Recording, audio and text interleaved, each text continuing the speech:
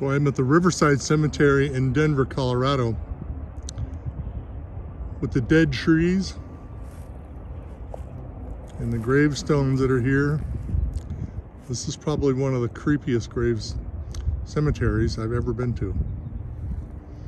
I've been to a lot of them, but grass is dead.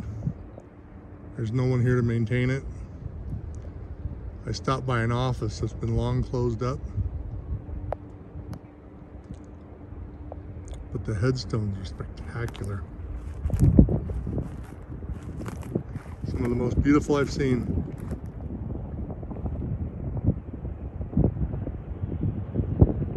This is Riverside Cemetery in Denver, Colorado.